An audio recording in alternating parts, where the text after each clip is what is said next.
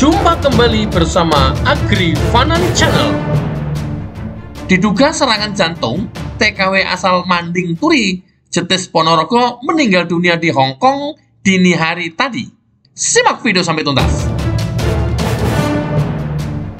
Innalillahi wa inna ilahi roji'un. Kabar duka kembali datang dari dunia pahlawan devisa negara di Hong Kong, di mana salah seorang TKW asal Ponorogo dikabarkan meninggal dunia. Siti Marwiyah, PMI asal Dukuh Manding Desa Turi Jedis Kabupaten Ponorogo ini dikabarkan meninggal dunia di Rumah Sakit Hong Kong kemarin Ahad 29 Mei 2022 sekira pukul 3 pagi. Marwiyah diduga terkena serangan jantung hingga menyebabkan ia meninggal dunia.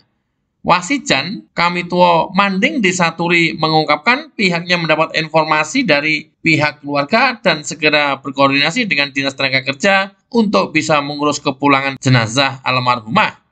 Warganya tersebut berusia 48 tahun, sudah lama bekerja di Hong Kong sebagai asisten rumah tangga atau ART atau pekerja migran Indonesia.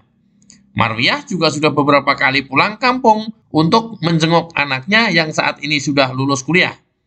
Terkait sakit yang dideritanya, lanjut Wasijan, dirinya tidak tahu pasti, namun kabarnya kena serangan jantung. Harapan keluarga almarhumah bisa dipulangkan dan dimakamkan di kampung halamannya sesegera mungkin. Informasi dikutip dari berbagai media massa.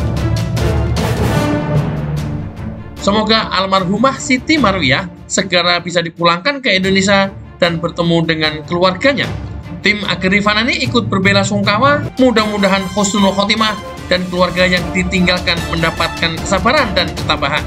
Jangan